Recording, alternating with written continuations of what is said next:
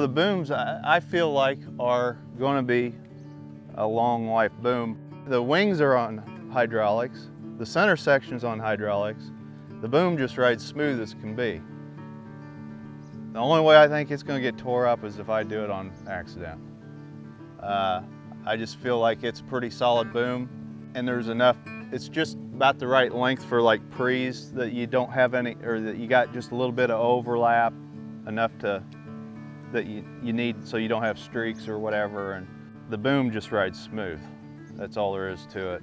I mean, somebody figured that out at Apache, that, uh, um, you know, if we design this thing to keep the boom level, uh, we're probably not going to have trouble with the booms, and we don't have trouble with them.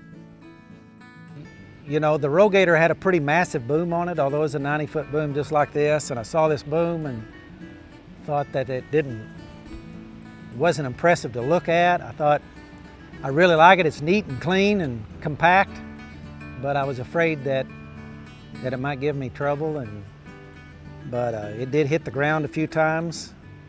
Never any damage, no bending, no bows. Of course, there's always times that spraying an edge, you catch a post or a tree and it, the boom flexes back and snaps right back in place. It's very forgiving. They're, uh, they seem to be excellent booms. No problems. I kind of like the way the boom is set up versus the uh, sprayer that I had previous.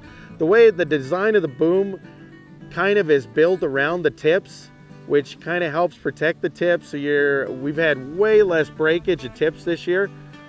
And uh, I mean, I know when we get really busy, we you start pushing the sprayer a little bit harder.